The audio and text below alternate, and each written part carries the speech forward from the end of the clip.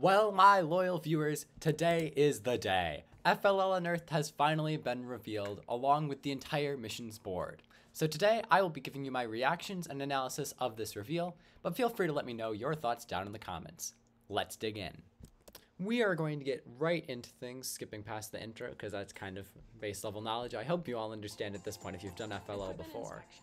Before the match If begins, not, we are going to get right into the this. Pre-match inspection and set all your equipment in place. So once again, Your we're at a dual home format, which fit in both is kind of expected at this point. This is limit of 12 the third or fourth year we've had it. Most I'll skip past it. and, And our first mission that we get a glimpse at, the damaging them. surface brushing, is a Brush bit of a doozy. Uncover a piece of this civilization's past. If soil deposits are completely cleared, touching the mat, So already we see that we've got two separate ways we can activate this by flipping this little lever back and forth. And this this sort of motion is most easily solved with some sort of one-way curtain attachment or something that can just kind of brush against it and knock it one way or another without necessarily like getting caught on it. But it's the second part if that's a bit more tricky. brush is not touching the dig site. You've got to take it back out. Now, luckily, you don't have to take it out to score all of the points. You can still score 20 points by knocking it back and forth. But that's a relatively small piece to try and grab. And unlike, you know, the trident piece from Submerged, you're just grabbing it straight up. You're not like pulling it out against something. So that, that's something that's going to be a little challenging, especially because the piece is moving back and forth. We're going to see how teams manage to conquer that one. Mission 2. Moving on to Map mission reveal. number two. Archaeologists work to unearth important clues about how a civilization lived. This is another Shift and remove sort of three-part mission where you've got three separate map. things you have to if do. topsoil sections are completely cleared, So this mission has three very different ways to solve it. You know, you've got sliding, you've got um, you you've got like twisting as you slide it, you've got sliding it straight, um, but you've got to slide it far enough that this little piece falls down. I assume that's probably going to be clarified in the robot game manual, which I do not currently have. And then you also have this um, hook thing, which can just be solved with like forklift or something of similar Mission power. 3. Mineshaft Explorer. And here we hit the Indiana Ayana, the Jones themed on a uh, mission shared mission of this the site season. and share what she finds with her team. I mean, the archaeologist's name is Ayana. That's just minecart is on the Indiana missing a few letters, you know? Bonus. And if the opposing team's minecart is on your team's field, And here we hit something a little interesting because FLL has really gone back and forth since they've introduced the shared missions. They've gone back and forth between mutually exclusive and mutually beneficial. And the mutually exclusive missions include like the bridge from City Shaper, even though I'm realizing as I'm saying this that most of my audience never did City Shaper because that was six years ago. Oh my gosh, now I feel old. Anyway, and you also have mutually beneficial shared missions like this one. And each of them kind of have their their pros and their cons. The mutually exclusive shared missions only one team can score the full points. So like the bridge for Cargo Connect the submersible for submerged both of those have like one thing that one team can do. So the submersible can only be on one team's side. It can't be on both you know? So only one team can score the full points on the other hand, you have mutually beneficial shared missions like this one or the helicopter from Cargo Connect, where both teams can score the full points. However, as we'll see later in the video, this is actually a bit more in depth than just that. field. Mission 4. Careful recovery. This might be one of the most tricky missions to score the full points for, and you'll see why in just a second. safely recover artifacts. If the precious artifact is not touching the mine, So that's fairly simple. It's a fairly easy 30 points. Yeah, it's a fairly small area you have to pull out from, but are standing. to get both of those structures still standing, let's go back and watch the like extraction process again. That's a very small area, and we see how easy it is for it to be knocked down. Now, I don't currently have a mat, but when, if I did, I would be able to test how it actually feels in person. not touching the But just based on this video, it looks very If sensitive. So this could be one of the hardest 10 points in the whole game, because you have to get that sample out of there Mission 5. Who to score the lives 10 points for Rebuild the things structure the to thing still standing. vital part of the village where people This is kind of the lived. gimme mission, sort of like the TV from If the Superpowered or is like the upright, unknown creature from Submerged, where it's just like, you know, a free 30 points for um, any team to go get. And I mean, it's a relatively satisfying freebie mission because it, it flips, it rotates, it looks kind of cool while you're doing it, which I appreciate. Mission 6 Forge. Ayana's team believes this forge was used to smelt ore and craft tools. Release the ore blocks and search carefully. This One is another relatively simple mission, but what is important to note is that If- only one of these boulders actually has the artifact, which is important later in the video, and that means that your robot pretty much has to return home so that you can like find the boulder with the artifact, or you can just dump them all in the forum, which we'll talk about a bit later in the video. So there's a few different ways to do this. And that's once again a pretty simple 30 points. It's a little little complicated from a scoring standpoint, but it's, it's nothing too hard. Now this mission, as soon as I saw it, it sort of gave me a, a sense of nostalgia because my very first season of FLL was uh, hydrodynamics, and that was eight years ago. Which, as I'm saying this, I realize is like next year there are going to be kids in FLL who weren't even like born when I was competing in F- FLL. This video is making me feel old, y'all, and I'm 17. This is this is bizarre. Anyway, there's this mission uh, that was similar to this, where you had to like move. I believe it was manhole covers because the theme that you had to do with water transportation, unlike submerged, where it's like exploration of the seas.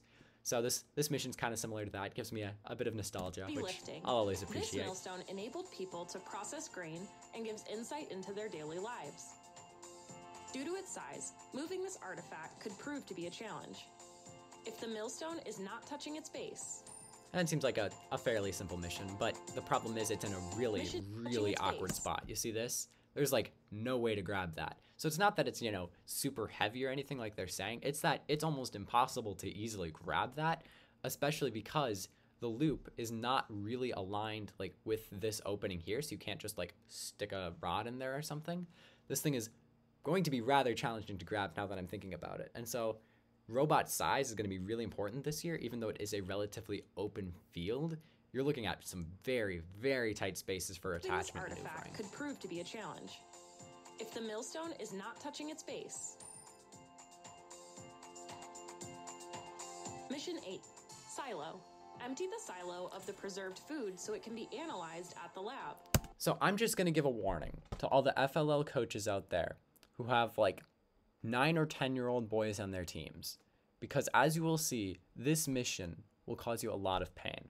And it's for a very simple reason that will become abundantly clear as I play this video. If preserved pieces are outside the silo, Anytime there are projectile Legos involved in FLL, you know one of two things will happen. One, according to Murphy's Law, your robot will get stuck on those at one point during your competition. Because what can happen will happen. Two, one of the kids on your team is going to be obsessed with hitting this lever until it drives everyone else on the team absolutely batty. Let's be real, both of those are probably going to happen at one point or another. Honestly, this mission's kind of fun though, and if I was still in FLL, this is I, I would be that kid driving everyone absolutely crazy with this mission. So take that how you will. And it is a fun little 30 points, so we always take that. What's on sale? Restore the market stall and reveal items that were once traded between the village and its visitors. If the roof is completely raised,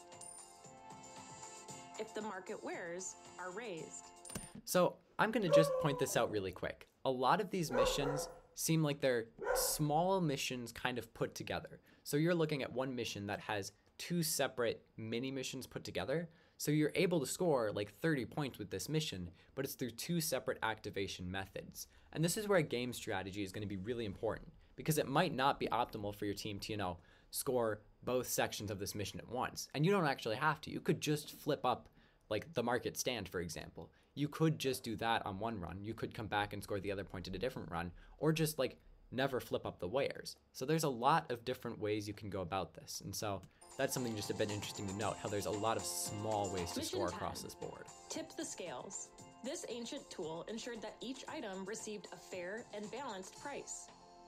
If the scale is tipped and touching the mat, if the This is just another example it's a really small, uh, dexterous mission where you have to have a robot that can really do a lot of Mission unique, 11, smaller, simple Angler things really well. A little interesting Your team has discovered some interesting ar- angler artifact is that like is that a reference to the anglerfish from FLL submerged and like the crane from City Shaper and it's it's it's yellow like the the changing shipping lanes and there's a trident. This is totally just submerged 2.0, guys. Someone grab my tinfoil hat. This is crazy. Actually, no, I just port. it makes sense that Use they're doing the crane this. to excavate the site. If artifacts are raised above the dig site, bonus. And if the crane flag is at least partly lowered, So this is this is a bit of an interesting thing. Um, this is one of the few where it's not, you know, you can do either one individual. You have to do you have to do both to get the 30 points.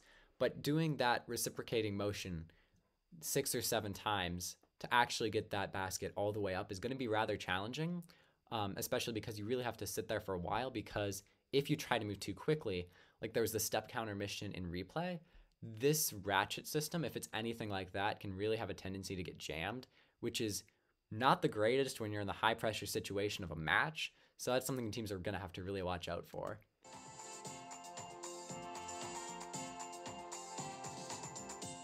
Mission 12 Salvage Operation. An ancient ship discovered at the beach is at risk of further decay. Excavate the vessel without damaging its delicate structure. If the sand is completely This is just cleared, the shipwreck mission again, guys. I'm saying submerged oh. 2.0. if the ship is completely raised. Hmm. Mission 13 Statue Rebuild. This one really reminds me of the the dinosaur from piece Superpowered, I believe it was. Or maybe it was. Cargo Connect. If the statue is completely raised, That's a really simple mission right there. Mission just 14, a quick little one and done. Deliver artifacts. This is where a lot of complicated things come into play. Consider what the artifacts tell you and what mysteries remain. If an artifact is touching the map and is at least partly in the forum, So you've got a lot of those small pieces. This is similar to the research vessel from Submerged. But right here, you notice the minecart, right? Now, why is this important? It's because you can't actually score the minecart on your side of the field. You are reliant on your opponent to send their minecart over. And what's really interesting is because, from a strategy standpoint, a lot of teams are going to wait till the last second to do their shared mission. And I can really reflect on this because my last season of FLL was Cargo Connect, where you had this big old helicopter mission with a package that it would drop. And you would score more points if you like if you both did the shared mission, but you know, you could score more points if you moved that parcel from your opponent's drop into your like one of your circles, I think it was. I don't actually remember. That was years ago. So if your opponent waited till the last second, you wouldn't necessarily be able to score that package. And so, from a strategy perspective, you're trying to wait as long as possible to recover that minecart and then do your forum run. But you need to leave enough time to go grab that minecart, come back into home, most likely reload all those forum things into your mission, into your like robot, run it out to the forum as time expires. Well, you could do those all in one run. That'd be rather complicated, especially if you'd like just miss the minecart or something that screws up the whole run. So if your opponent delays until the last second, then you just straight up can't score the minecart. So you have to you have to really really manage time well right at the end because you don't know is my opponent going to wait until the last second because if they do, then like you do even run the form at that point. It's this is going to be very tense when it comes to state and world level competitions because you're dealing with two teams really trying to communicate with each other. so it's going to be interesting. Site marking. There's so much yet to be discovered at this dig site. Place flags to mark locations for further study. This is kind of like the reverse of the coral from flag least Submerged. partly inside and touching the mat, And what's interesting to note is that these these squares are pretty small, but because the flags can just be partly inside, most like it shouldn't be that complicated to do. Um, but it's once again going to be a strategy thing where when do I bring these flags to the right place? Like, do I do it as I'm solving the mission? Do I wait until later? That's going to be really important for teams to try and figure out. And with that, we conclude our tour of the FLL Unearthed game board. My thoughts on this game firstly, your robot is going to need to be able to be very dexterous. You're going to have to be able to maneuver very small pieces or larger pieces in a tight space. So, for that, something like a interchangeable forklift attachment could be nice, where you have a forklift that can have smaller attachments kind of going on the front. That's an option. But obviously, um, I don't actually currently have a mat right now, so I don't know what the optimal way to solve these missions are. It's up to you to decide. Secondly, a robot that can have a lot of different attachments because you have so many different ways of activating things. You've got things that need pushing, things that need removing vertically, things that need move, removing horizontally. You've got a lot of different challenges there. Thirdly, you're going to need amazing game strategy. Game strategy is always a critical part of FLL, but it seems like this year in particular, it's very important. When are you going to go for that shared mission? When are you going to deposit your pieces in the forum? How are you going to exchange attachments? How are you going to cross over the field? Because there are so many different attachments that you will need to solve these missions. Or you can have one amazing attachment. If you come up with one attachment that can like solve like 90% of the board, that'd be amazing. Please send me a video. I'd love to see it.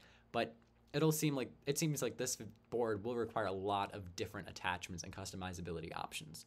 Well, with that, I think I'm done with the video. Please let me know what you guys think about this board in comparison to previous years, in comparison to what you kind of expected it to be from the uh, reveal trailer.